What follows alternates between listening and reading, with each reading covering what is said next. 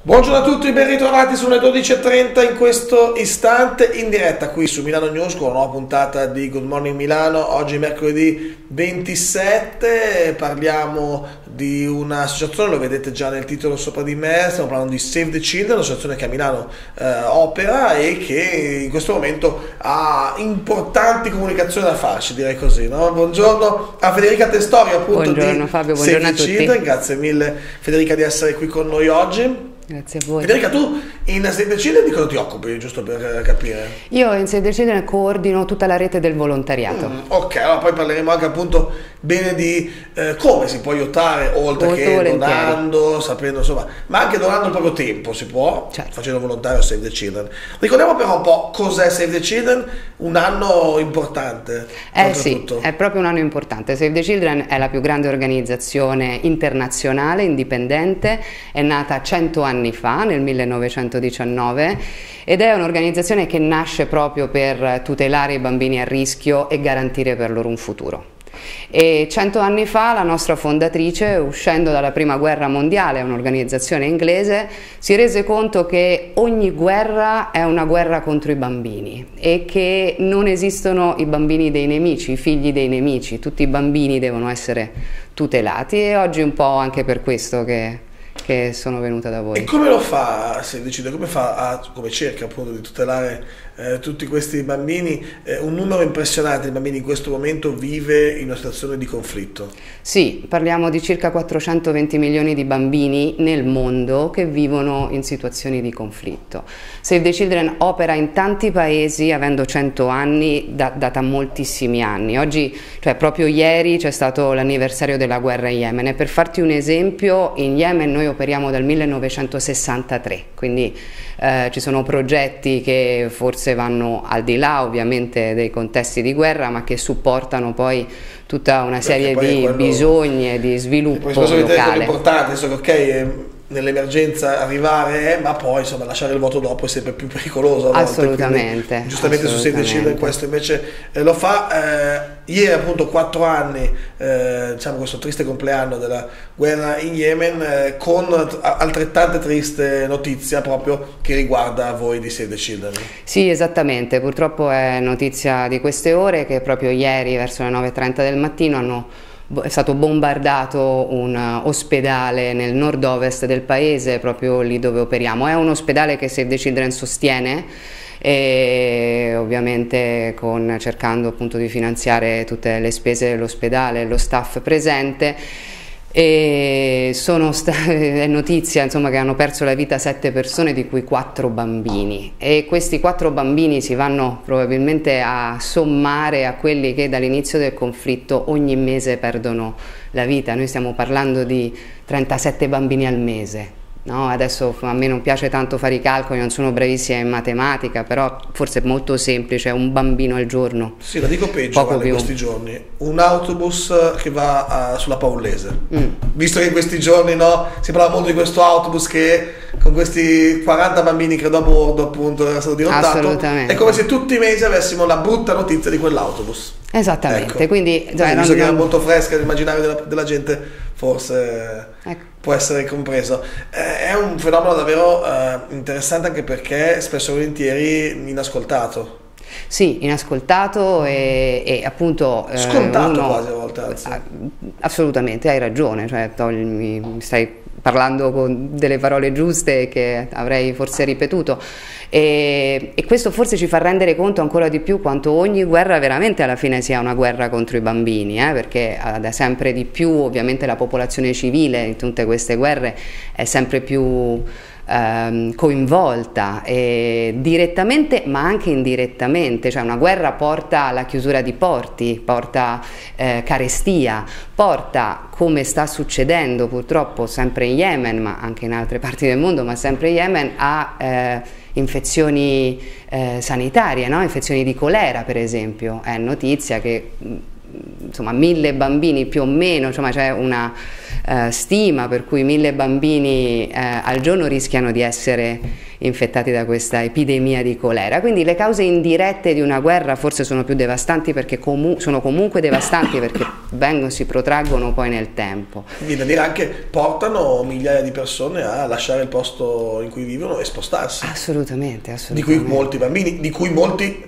non possono invece avere questa fortuna e quindi molti invece non riescono a spostarsi, a spostarsi. e quindi anche ricordiamoci questo diciamo ma eh, vediamo gente che arriva che sembra che stia bene che sembra che sia ricca attenzione nel senso che magari, che stava, da guerra. magari stava anche bene ed era ricca nel proprio paese ma ahimè il suo paese non esiste più o meglio è un gruviera fatto di bombe è un paese dove se va all'ospedale rischia appunto di rimanere sotto le macerie esatto non esiste più un posto sicuro non esiste una scuola che dovrebbe essere quella che anche i nostri bambini no? hanno come posto sicuro non esiste le proprie case eh, non esiste appunto un ospedale dove ad oggi eh, ci sono circa, in questo ospedale insomma ci sono circa 5.000 persone che siano bambini o che siano adulti che stanno combattendo contro la vita perché eh, diciamo, stiamo verificando quanti danni sono stati fatti ma non solo alla struttura ma anche alle eh, strutture sanitarie, no? alle, ai macchinari in qualche modo e quindi non esistendo più un posto sicuro questo come dici tu diventa devastante. È molto interessante perché appunto spesso si dice ma perché bisogna andare a vedere le cose che succedono a migliaia di chilometri da casa nostra quando appunto i problemi ce li abbiamo qui? Beh, forse andando a vedere proprio cosa succede a migliaia di chilometri da casa nostra potremmo avere meno problemi a casa nostra, poi mi verrebbe anche da dire a volte, no?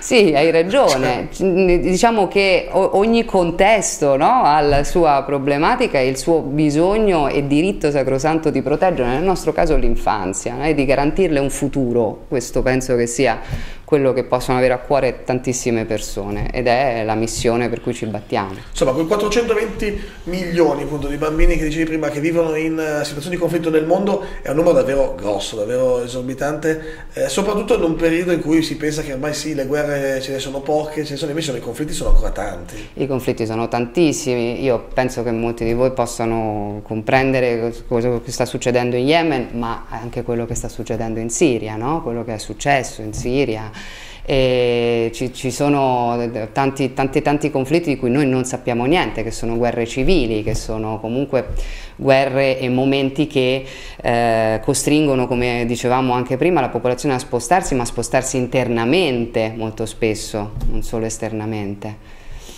Mm. Cosa appunto diciamo, Sedeci ad esempio in Yemen fa tantissimi progetti, dicevi poco fa, uh, che tipo di progetti appunto vengono fatti nello specifico magari in una zona come lo Yemen? Beh, allora sicuramente come ti dicevo ci sono tante cause indirette no? che possono colpire la popolazione rispetto a un conflitto e allora tutto quello che eh, riguarda la, la, protezione, la nutrizione e la sanità e, e l'educazione anche, non scordiamoci che ad oggi probabilmente quattro anni di conflitto ci sono dei bambini che hanno conosciuto solo il conflitto, non hanno conosciuto altro, come in Siria ci sono dei bambini che sono nati in un campo profughi e non, hanno, non sanno, non conoscono altro.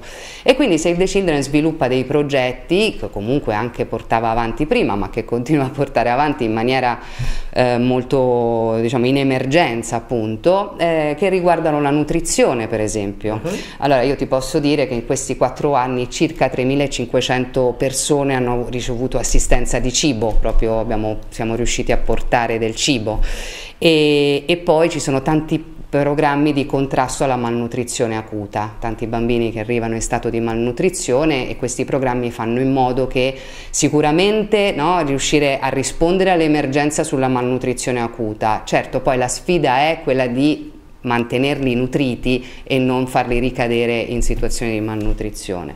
Questo è totalmente legato a quello che si fa per l'igiene e la salute. Abbiamo parlato di colera, di un'epidemia di colera che è una delle più devastanti. Già nel 2017 c'era stata un'altra epidemia, ma questa per velocità, per come si sta velocemente propagando sembra peggiore di quella e la cosa che più diciamo mh, mm, eh, eh, si fa rabbia è che il, ehm, il, colera è facilmente prevenibile, okay. basta avere acqua potabile e condizioni igienico-sanitarie accettabili. E questo è quello che ci diceva proprio il nostro direttore di Save the Children in Yemen, questa è la rabbia. E quindi quello che comunque stiamo facendo è ehm, da una parte fornire kit igienici, abbiamo raggiunto circa 60.000 famiglie e dall'altra però siccome non è indispensabile solo agire in emergenza, abbiamo raggiunto anche mh, diciamo circa 40.000 persone con delle azioni di sensibilizzazione okay. su quello che effettivamente può portare una buona igiene, buone ovviamente con buone pratiche con quello che si ha, cioè c'è sempre qualcosa che si può fare, no? rimanendo nel contesto. Poi insomma ci sono tanti programmi di protezione, voi immaginatevi rispetto a una guerra protezione da, da, sfruttamento, abuso, problematiche sui bambini soldato, no? E quindi Save the Children ehm, diciamo, costruisce quelli che noi chiamiamo dei child friendly spaces, sono delle tende semplicemente all'interno delle quali però è un ambiente proprio a misura di bambino, noi cerchiamo eh, diciamo, di, di, convogliarli là, di non lasciarli eh, per strada, a volte i genitori giustamente no? hanno bisogno di capire come vivere, come pensare alla casa se è stata bombardata o no, se i parenti sono vivi o no, tutte quelle problematiche che sembrano banali ma che in una situazione per tutti noi sono molto importanti. E allora in questi spazi ci sono psicologi, educatori, un contesto a misura di bambino che li possa sia proteggere dal resto del mondo e sia ovviamente cercare di, di, di fargli passare il trauma della guerra. Tutto questo fatto con grandi professionisti che voi avete diciamo, sì. in tutti i luoghi in cui Save the Children mondo, diciamo poi declinato poi Save the Children in Italia eh, opera. Eh, Save, the, Save the Children in Italia in realtà sullo Yemen ha una lente di ingrandimento abbastanza puntata perché proprio in Italia in realtà abbiamo un'altra di questi primati che ci ostiniamo ad avere negativi, eh, no o meglio abbiamo un'azienda che produce armi che vengono eh, poi vendute al, alla coalizione alla saudita. Coalizione saudita. Eh, si decide si è mossa un po' per insomma, cercare di fermare questa cosa. Esatto, è sempre importante no, poter fare qualcosa ovviamente nei paesi dove accadono le cose e cercare là no, di portare uno sviluppo concreto o, a, o rispondere a un'emergenza, dall'altra parte la forza di un'organizzazione come, come, Save the Children, ma anche grazie a tante persone ovviamente che ci sostengono, è quella di fare delle azioni di pressione. Allora noi quest'anno, proprio mh, in maniera specifica, mh, ci siamo concentrati sulla tematica della eh, bambini in contesti di guerra e quello che stiamo facendo come pressione per cercare di cambiare un po' le cose è, mm, abbiamo lanciato una petizione, una petizione eh, per chiedere eh, lo stop alle esportazioni di armi alla coalizione saudita dall'Italia. Esiste una fabbrica che è in Sardegna che produce armi che vengono vendute e utilizzate per la guerra in Yemen. Allora noi siamo appunto al Ministero degli Esteri stiamo chiedendo. Cosa che dovrebbe essere appunto, cioè la legge italiana vieta in realtà, no? Esattamente. Però beh, come al solito sappiamo che insomma nel multinazionale si trova sempre poi il canale per poter fare un po' quello che si vuole, verrebbe da dire, non solo in questo campo, eh, in molti altri campi anche, eh, però avete mosso questa petizione per chiedere questa sospensione. Sì, al Ministero degli Affari Esteri abbiamo chiesto appunto a tante persone di firmare questa petizione, chiunque la voglia la la può trovare sul nostro sito, sulla home page savethechildren.it e, e, lì si può appunto far sentire la propria voce eh, per poter poi insomma, parlare non a nome di un'organizzazione seppur autorevole ma a nome tante, delle tante persone che fanno in modo che quell'organizzazione possa operare. Tu dicevi sei una coordinatrice diciamo, dei volontari su Milano, immagino anche Sì, sì, su, su tutta Italia e su Milano, assolutamente. Milano, e la cosa interessante è che proprio Milano the Children ha dei progetti. Sì. Eh, quindi, come dicevi, è importante andare a aiutare anche nei paesi, ma insomma, i bambini anche qui ahimè, ci sono bambini che vivono ogni contesto in situazioni suo. di conflitto bellico, ma magari altri tipi di conflitti o comunque di situazioni per cui è bene riuscire a intervenire e aiutarli. Che tipo di operazioni fate su Milano? Su Milano abbiamo dei progetti di contrasto alla dispersione scolastica e di supporto a quella che noi chiamiamo povertà educativa. Abbiamo dei centri, un centro educativo, un, quelli che noi peraltro chiamiamo anche punti luce e, sono, e operiamo nei quartieri, non solo a Milano ma in tutta Italia, nei quartieri periferici. A Milano in particolare siamo in Quarto Giaro e in zona Certosa e lì con i ragazzi del quartiere cerchiamo appunto di sviluppare da una parte le proprie capacità, le, proprie, le loro ambizioni e di eh, anche lì supportarli nel, nel, diciamo, nella ehm, percezione di una socialità anche diversa da quella che forse se abbandonati o se non seguiti potrebbero, potrebbero sviluppare. È importante, è importante perché ci sono numerose sacche di povertà in Italia come ovviamente anche a Milano e questo rischia no, di innescare un circuito vizioso poi di, di, di poca tutela del, dell'infanzia e dell'adolescenza. I volontari credo che qui incominciano a entrare un po' più in gioco no? in questo tipo di uh, situazione. Cosa bisogna avere per essere un volontario di Save the Children? Per essere volontari di Save the Children a me piace dire questo, sicuramente bisogna avere eh, passione ovviamente per, per, per, la causa, cioè capire l'importanza della difesa e della promozione dei diritti dei bambini, essere esempi anche no, nella propria vita, al di là di Save the Children, di, di proattività e di umanità anche, e soprattutto avere del tempo libero da poter impiegare in un'azione sociale, da voler impiegare in un'azione sociale. Ognuno di noi ha ovviamente tante cose nella vita, tante cose da fare, anche delle professionalità, ma non è detto che i volontari di Save the Children possono impiegare quel tempo libero che decidono di eh, dedicare ehm, o a attività che sono strettamente legate con i nostri progetti e quindi eh, cercare di operare con il nostro staff sul campo, a Quarto Giaro, in Certosa, e, oppure aiutarci in azioni di sensibilizzazione e raccolta fondi. Questo dipende sia dalla predisposizione personale e sia dal tempo che si può impiegare. Sicuramente operare con, a stretto contatto con i minori significa avere un grado di, diciamo,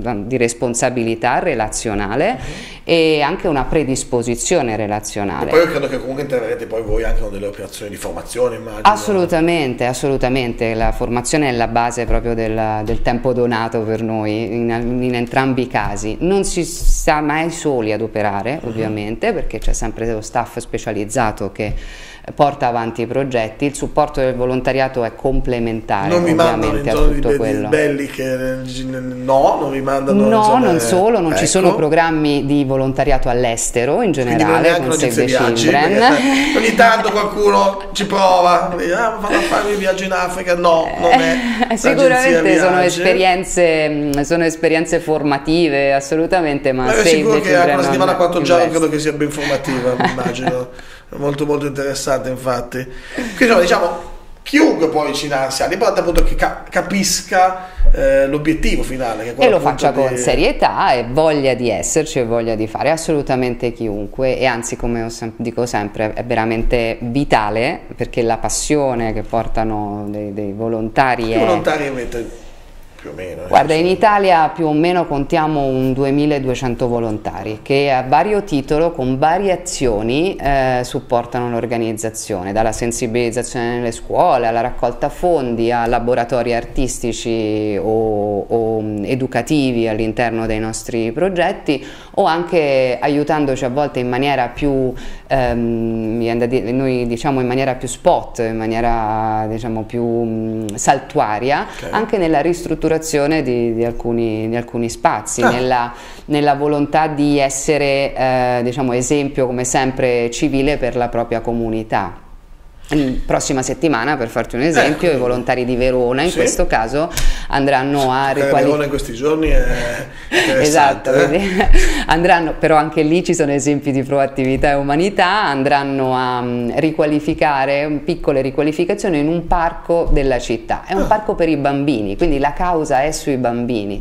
Noi l'anno scorso abbiamo lanciato una campagna, la campagna quella che ci vede protagonisti come Campagna Italia, ed è la campagna proprio per tutelare e mettere la luce sulla situazione dell'infanzia in Italia. In quel caso noi in qualche modo denunciavamo il fatto di non avere spazi, che ci, siano, che ci sono degli spazi pubblici che devono essere aperti all'infanzia e che possono essere aperti all'infanzia. Allora loro su questa diciamo, campagna hanno deciso di essere proattivi nella propria città e quindi dare un esempio e andare a riqualificare uno spazio, ma questo è solo un esempio di quello che comunque abbiamo fatto e faremo anche a Milano e in tante zone d'Italia. No, Milano è un dato interessante perché insomma eh, mo, molte ONG che ormai operano sul territorio eh, nazionale eh, che prima operavano appunto magari in zone del terzo mondo, zone nei paesi in via di sviluppo, hanno riscontrato comunque una certa affinità appunto con certe problematiche anche nelle città, soprattutto nelle grandi città come Milano. Eh, è un problema che va a aumentare, quindi oppure prima facciamo finta di non vederlo e adesso finalmente lo vediamo e interveniamo, oppure invece sta aumentando il divario. Beh, sicuramente la situazione economica ha fatto in modo, in qualche modo, che ci fossero dei riflettori perché il divario si stava e si sta espandendo. E organizzazioni come Save the Children, seppure internazionali, non potevano chiudere gli occhi rispetto al proprio paese, al paese dove, dove opera e quindi mi viene da dire è, è, necessario studiare alcuni fenomeni, studiarli in maniera locale anche, no? la, la dispersione scolastica a Napoli esiste, è diversa dalla dispersione scolastica dispersione scolastica a Milano che esiste ugualmente e quindi in qualche modo eh, poter attivare eh, sacche di, eh, di, di, buone pratiche in qualche modo. Diamo le coordinate per i volontari che volessero appunto avvicinarsi a Save the Children, eh, come poter fare, fate delle giornate formative, basta andare sul sito, come funziona? Allora, basta andare sul sito e là troverete delle informazioni, sicuramente potete scrivere una mail al, al mio indirizzo mail, che è molto semplice perché è nome.cognome. E, ehm, e, da lì si entra in un iter di comunicazione ovviamente e eh, sia informativo che formativo, cioè verrete informati su tutto quello che è il volontariato nella vostra regione, nella propria regione e formativo perché ogni volta che viene fatta un'azione dalla più semplice alla più complessa comunque cioè, il livello formativo di base bisogna averlo per poter operare in coscienza.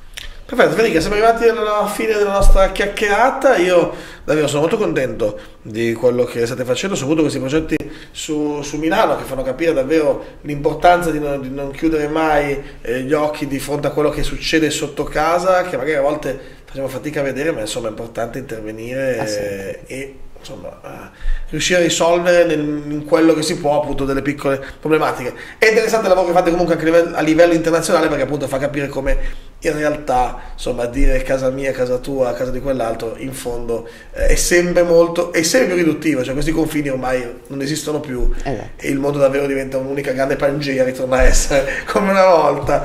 Secondo eh, me l'importante è capire che ognuno di noi può fare qualcosa da una parte dall'altra lo può fare in Italia lo può fare all'estero e che insieme ad un intervento di un'organizzazione ci può essere una mobilitazione di persone. Questo è, è importante Mobilitazione di persone, insomma, abbiamo visto due venerdì fa i giovani scendere a Milano che non vedeva giovani in piazza così, credo da almeno 30 anni, qualcosa del genere, quindi insomma... C'è speranza. C'è speranza, infatti, c'è speranza, insomma, queste nuove generazioni che spesso e volentieri... Eh, così etichettiamo come poco volenterose o assuefatte dietro a uno smartphone, invece ci hanno no. stupito positivamente e chissà che forse questo cambiamento arrivi da loro e saremo ben contenti di raccontarlo. Eh, grazie mille Federica. Grazie a te. Grazie, grazie mille a, a Federica Testorio di Save the Children. Nella nostra diretta trovate tutti i link al sito di Save the Children, il tag, comunque poi potete scrivere anche a noi, vi metteremo in contatto con Federica per tutto quello che riguarda il volontariato. Eh, l'abbiamo detto non serve essere ingegneri, non serve essere dottori, non serve essere, serve avere volontà, serietà e voglia di fare. Assolutamente così. Ah, sì. Grazie mille davvero Federica per essere qui con noi oggi. Grazie a te. Grazie anche a tutti voi che ci avete seguito. L'appuntamento torna come sempre domani alle 12.30 in diretta qui su Milano News. Oggi pomeriggio puntata speciale di Good Morning Milano eh, perché si parla di arte. Nel pomeriggio troverete online la nostra puntata speciale su Damars e su un artista che davvero vi invito a continuare a guardare il nostro canale. Grazie mille, arrivederci, a presto.